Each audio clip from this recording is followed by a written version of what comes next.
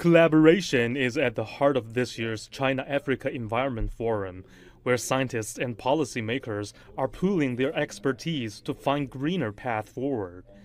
The event, organized by the United Nations Human Settlements Program, Tongji University, and Shanghai Environment Group, aims to establish predictive models for climate change and the future evolution of water resources, as well as measures for river restoration applicable to Africa.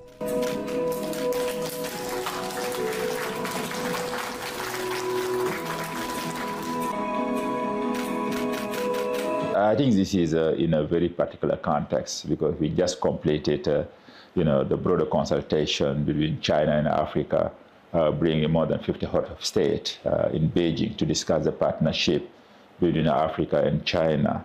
So, which means that uh, this forum today on environment uh, is quite timely, and to see how best we can foster this partnership, South-South cooperation between China and Africa. The forum also focuses on sharing practices in waste management, taking into account the individual conditions in selected cities in Africa and China. 上海在废弃物管理方面呢，应该说，这个几十年以来，尤其是改革开放以后，应该说是 Shanghai has achieved leapfrog development in waste management over the decades, especially since the reform and opening up. Now we are arriving at the stage of zero waste city. I think not only in Africa, but also in all countries and cities around the world, we can find cases that can be used for reference. Drawing from Shanghai's experience, we've gone through the process from landfilling to incineration, and now to resource utilization and comprehensive utilization. All these cases can serve as a reference for developing countries. 这个所有的这些案例都可以供发展中的朋友们、发展中的国家予以借鉴。 I would like to highlight a couple of areas. So first is on marine pollution. So here there's a global treaty on plastics that's currently being negotiated. The final meeting will take place in Busan in Korea uh, later this November. So the COBSEA countries, the seven plus two, nine countries, uh, including China, have been very active on this whole plastics discussion, marine pollution. The second area is on marine biodiversity. Um, and here you've probably heard about the Kunming Montreal Global Biodiversity Framework that was negotiated and successfully adopted at the end of uh, 2022, December. When mentioning cooperation in green cities and clean energy, experience is also shared and evaluated. maybe the uh, city planning and the energy issue is the most important.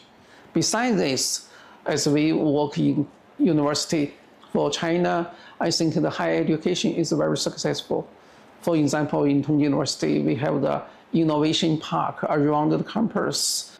We can create new technology and transfer to the local community or other city, other industry.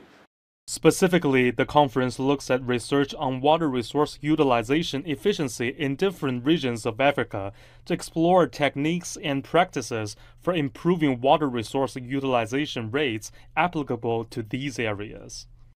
In the past years, we have a lot of uh, case studies uh, for the cooperation between China and Africa in the field of uh, environmental protection, uh, specifically in water resource management and uh, water and wastewater treatment. For example, here in Tongji, we focus more on water and wastewater tre- uh, treatment. For example, we have established a drinking water treatment demonstration project in uh, Nairobi, in, in, in Kenya, and also we have another demonstration project for uh, wastewater treatment in Kisumu, uh, also in Kenya.